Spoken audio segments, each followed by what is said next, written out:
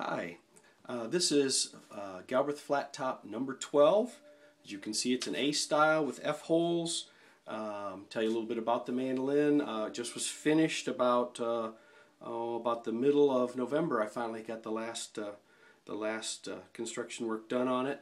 Give you a little idea about it. Um, it is primarily made of cherry, which I just thought it was a beautiful piece of, of local cherry wood that I that I got at a, a local vendor.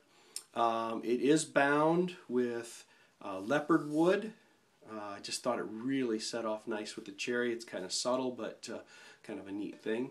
Uh, also has black and white purfling on the top. It has a red spruce top. Uh, going up the back, um, cherry neck, Schaller tuners on the back. Got a tuner that we got to get out of the way. Um, cherry all the way through with the logo in mother of pearl. I did say Schaller tuners, Corian nut.